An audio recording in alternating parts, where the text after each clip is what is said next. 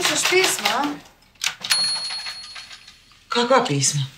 Znaš ti koja pisma? Znam ti rukopis.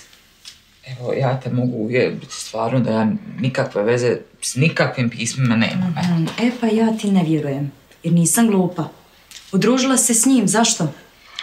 Kako te nije sram tako napadat majku?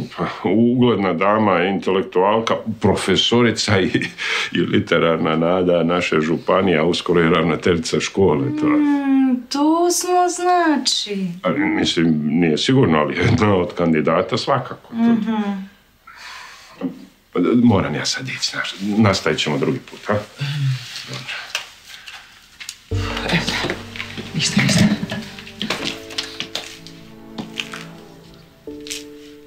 Od početka sve sabotiraš. Izabrala si stranu. I to protiv nas i sela.